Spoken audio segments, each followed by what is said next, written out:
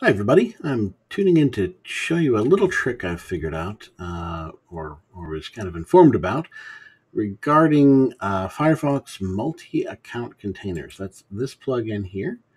Um, and I wanted to share with everybody. So this plugin, multi-account containers, see, multi-account containers. Um, this is a wonderful extension if you're using Firefox that allows you to open an individual tab with its own cookie and cache container uh, or, or privacy, basically. Anything that you open in a certain context will have its own rules. So you can log into multiple Google accounts, for instance, um, and have them all open in the same browser, just in individual tabs. There's um, some extra stuff that's built on top of this. Uh, there's a, a Firefox container that is specifically designed to limit all of the Firefox activity, activity and trackers that, are, that you'll run into around and route them back into the Firefox container even when it's not open. Uh, that builds on top of this. Um, it's just a really, really great plugin. Um, and I'm talking about it. Let's see if I can actually show you. Here we go. Here we go. The Firefox multi-account container uh, extension. Now, I've got that installed here, and I wanted to talk a little bit about um, two uses that I recently discovered for it. Um, manage containers. Let's go ahead and remove these. So I will build them up with you live, okay? So uh, by default, it comes with a personal, a work, banking, shopping, email, uh, and my Firefox container added this this or Facebook container out of this Facebook one. Um, it's wonderful when I'm in work mode. I'm logged into all my work services, and I can keep it kind of contextualized, and it's great. Uh, very easy to switch over and kind of feel the safety of, of information not leaking between those contexts. But uh, what I recently discovered is that each of these containers has the ability to route its own proxy. So, the first thing I thought of when that came up was I have Tor installed. If I were to just run Tor here, it's going to fail because it's already running. Uh, I'm I'm on Linux, so it was apt install Tor. Uh, in, in, fact, it's let's see, apt list installed. I believe it is grep Tor. grep Tor. There we go. Uh, and yes, Tor um, is down here, and that is installed.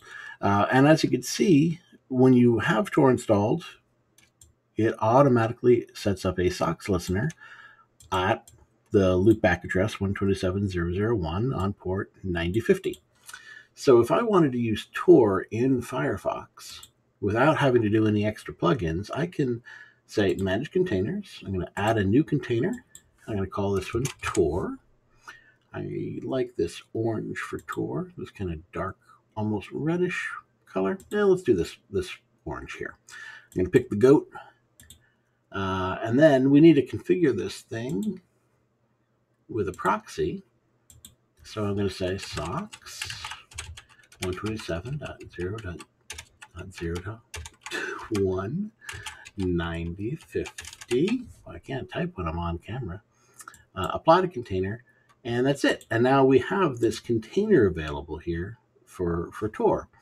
Now I have, uh, see, Cosmic Voyage. This is a site that I run, and it is available, um, maybe. There we go, Cosmic. Thanks. It's available on Tor. So if I were to say curl dash v cosmic voyage, um, one of the headers that comes back on this uh, is an onion location. So this this is a wonderful little thing here. If you're running Tor browser, it'll automatically detect that and reroute. So if I were to paste that in over here, uh, well, that doesn't work, right? Because I'm not in a Tor browser. But if I decide to open this in a new container and I say I'm going to use the Tor container, then magically it works. Now I have Tor running in Firefox, but only in a specific specific container. Awesome. So what about other proxies? Well, um, ipchicken.com. Let's see. My my home IP is up here. Um, uh, let's say I wanted to proxy this through one of my web servers. Now, I, I run uh, gopher.black. That is a Gopher server, and I've got some other stuff hosted on there. Um, and I happen to have this lovely alias here. Let's bring it to the top of the page. Alias um, proxy, which is SSH dash capital D, uh, a port. I like my little leet port here, dash Q dash C dash N.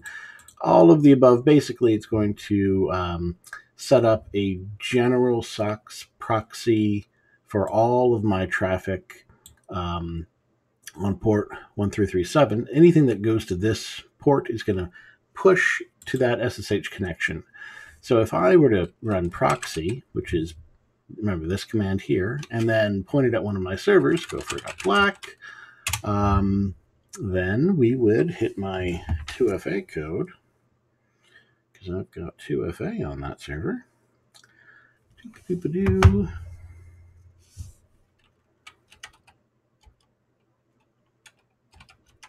think I typed that wrong. There we go. All right. And now that that's set up, anything to port 1337 is going to redirect. So right now, this is coming from my mobile internet in Iceland. Uh, but let's set up another container. We'll manage a new container. I'm going to call this one ad hoc uh, proxy. And we'll do this like little spyglass or uh, sunglasses thing. And in here, I'm going to say, whoops, I have a meeting. Uh, in here,